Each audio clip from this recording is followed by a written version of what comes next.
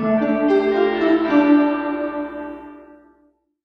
welcome back one of our old, old friends of the show, um, Mr. Matt Floyd. Matt, how have you been wintering? Not too bad, Darren. Okay. Uh, good to see you as well, Paul. Yeah, not too bad. I mean, now that the weather's turned and you can play cricket again, I even had a net last night, actually, which was lovely.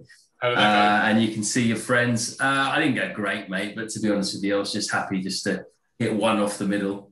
Um, yeah, no, everything's feeling a lot better now, isn't it? It's yeah, uh, it's a lot more positive seems like years and years ago that you were sat in the studio with us. I think uh, there was you, and then Mark Butcher came in the week after, and then that was it, lockdown. So you've been a busy man, and um, I noticed, um, and one of the reasons for getting you on, obviously, we always love to see you and catch up, but um, you've launched a podcast, so we thought we'd uh, like to hear all about it, please. Yeah, well, I, it's probably something I should have done ages ago at the beginning of lockdown because we had a lot more time on our hands then. But uh, like a lot of other people, I was not doing very much and pretty bored. And just for my own sanity, really, and mental health, I wanted to, to be a bit busier and to do some proper work. But there wasn't really much going on for me. So I thought I'd better launch my own podcast, seeing as that's what every man and his dog is doing at the moment. Uh, it's quite a saturated market, as you guys well know. 59 cricket podcasts in the UK alone. Really? Yeah, that doesn't surprise me at all. I mean, they're constantly popping up, aren't they, and disappearing. Uh, so yeah, I just thought I'd, I'd, basically keep it very simple, do a very simple format, uh, which will be just one-on-one chats, open and honest conversations with as big a names as I can find in the world of cricket that I've met along the way. Um, and yeah, talk about cricket stuff, but also non-cricket stuff as well, not just to, to be completely restricted um, with, you know, bowling actions and how to bowl slower balls and how to hit sixes and all that kind of rubbish.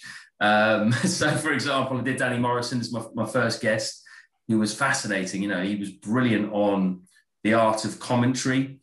Obviously, he's the kind of guy who polarizes opinion as a commentator. And it was fascinating to listen to him explaining his commentary style and, and why he is very elaborate and very over the top. And a lot of it is to do with because he understands the audience in India, and that's kind of what they want, and that's why he's so popular out there. So we spoke about a bit about that. He also admitted he did a bit of ball tampering when he was playing, which was interesting, and, and basically said that everyone was doing it in the 80s and 90s. But then we also talked about, uh, unfortunately, some of the tragedy in, in his life. His, sister committed suicide, and uh, it had a, a, big effect on him uh, mentally. So we talked a lot about mental health and how to stay on top of that. And he really opened up. So it, it was a, a really interesting chat. It kind of went from from one spectrum to the other, and we got quite deep in the end. Um, but with Danny, it's always pretty light-hearted uh, across the board. So, you know, we, we kind of did a bit of both really, but yeah, really enjoyed uh, talking to him about it and, and uh, finding out a bit more about him. I think you unearthed the side that not many of us have seen before, hardly anyone probably. I mean, we're all used to the larger in life pork pie wearing commentator. Yeah, no, Danny does actually, doesn't he? I don't know whether you like him, no, Paul, or not, but he really does polarize opinion. He's the one commentator who almost treats it like he's acting in some ways, and he's so over the top. And interestingly, he was talking about how he speaks with a real economy of words and he speaks very slowly. A lot of that is to do because of the Indian audience, and they don't always speak as, as good English as, as, say, if he was commentating for a, a New Zealand audience or an Australian audience. So it's quite smart, really, in the way he commentates. He's just very simple with how he constructs his sentences, but he's at the same time over the top in his delivery. If you take that as an example, you can see a lot of of his style rubbing off in in other um, more exuberant commentators, should we say? I'm thinking of Bumble. You know, there's there's probably quite a lot of similarities in the way that they commentate. Yeah, definitely. They're from the same sort of school, although Bumble maybe not quite as much of a, an actor, I would say, in some ways as Danny. Danny's really sort of cheesy and over the top sometimes, whereas Bumble is more of your sort of witty comedian, isn't he? Um, a little bit more reserved, I would say, a little bit. Although sometimes he has his moments, as we know. We were lucky enough to to speak to Bumble a few weeks ago, um, and we've also spoke, spoken with Nasser, who finally finally tracked down Nasser. Yeah. Uh, and and Nick Knight and um, Athers earlier on, they all say the same that with with Bumble, what you see is what you get. You know, totally everyone sees on the TV and, and hears on commentary is exactly the same as day to day Bumble. Yeah, he's a great guy. He's the kind of person who'll just walk into a pub by himself, doesn't know anyone, will talk to everyone in there, make friends. There's no pretense about him. Um, yeah, it's been a privilege to, to work with him, really. He's, he's such an interesting guy. Uh, I liked your chat with Nasser as well. Uh, he was on good form, I thought. Yeah. Enjoyed that one, didn't we, Darren? That was yeah, we really did because we weren't sure what to expect from him, whether he was going to be dead serious, and because it, it's taken us so long to get him, and he's sort of consistently pushed back. I think is the right word. But when we got him, he just relaxed and was was was excellent, excellent company, and, and was was was really revealing in the stuff he was talking to us about. So we were really pleased. Yeah, he was. He really opened up, didn't he? I mean, I'm thinking of doing him. I think for one of my early ones too, uh, jumping on your your bandwagon. But he's a very misunderstood character. I think. I think some people think he's extremely serious because of you know the serious analysis he does. Uh, when he's broadcasting, and he isn't a very intense person, but he's got a really wicked sense of humor as well, and he's really good fun to be around. I just wish more people saw that side to him. Well, he does show it occasionally, doesn't he? I suppose in the studio chats, um, he just takes his job very seriously, and he's very good at it.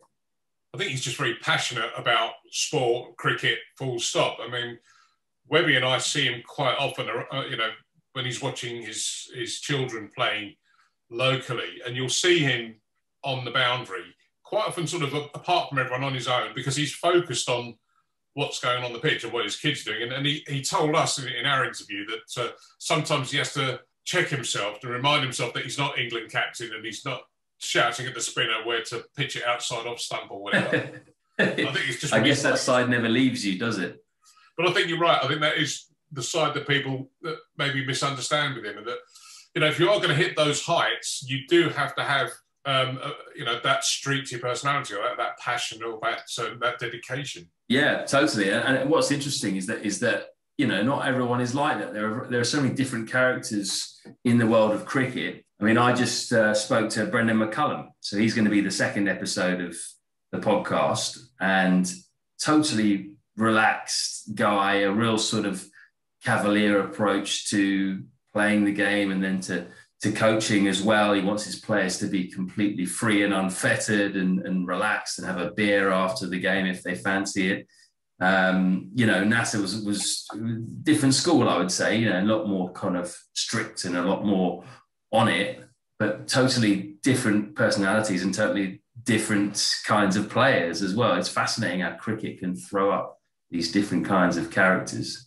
I think we're discovering that from the various people that we talk to that um, you, you, know they are revealing very varied personalities and approaches to the game and uh, on and off the field as well. You know, some people when they're not playing cricket want to get completely away from it and do something completely different, whereas others, you know, can't leave it alone. Yeah, and I think it's healthy to have outside interests. To be honest, I think uh, if you don't, you, you can get a bit in your bubble, and especially now when you actually are in a bubble a lot of the time and you're around cricket 99% of, your waking hours, you do have to have something else or a couple of other things to get away from the game.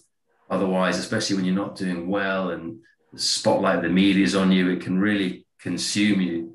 Um, but I guess that's easier said than done, you know, when it's just your life and, and it's what you're relying on to to you know send your kids to school and everything else. So remind us again, what's the name of the podcast?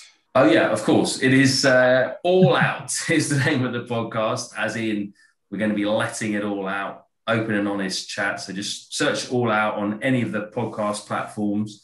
Uh, it'll be on Spotify, it'll be on Apple, uh, all the others, and uh, you'll find the Danny Morrison episode on there already, and I will hope to get Brendan McCullum out probably early next week to coincide with the beginning of the IPL, which starts at the end of next week. He's, of course, the head coach of the Kolkata Knight Riders. So he was excellent on the IPL and gave us a real insight into how a head coach prepares his team for the IPL and the auction and going through to the start of it. Um, and then I'll, uh, I'll hopefully get Nasser done as well and get him on there in a few days. Yeah, you should. You should. Well, we'll uh, we'll look out for that. We recommend that everyone that follows us and listens to us uh, goes and checks it out. All Out is the name of it because everyone's letting it all out. Seriously, guys, thanks a lot. I really, really appreciate uh, coming on your show and the plug. Excellent. Always great to catch up with you, Matt. And we'll um, hopefully we'll drag you down to Brentwood uh, in the summertime, and uh, yeah, you can uh, you can do the hosting duties while me and Paul just put our feet up and have a cup of tea. I'll come down for sure, but I'm not doing any hosting. I guarantee you that. Uh, Matt Floyd, many many thanks.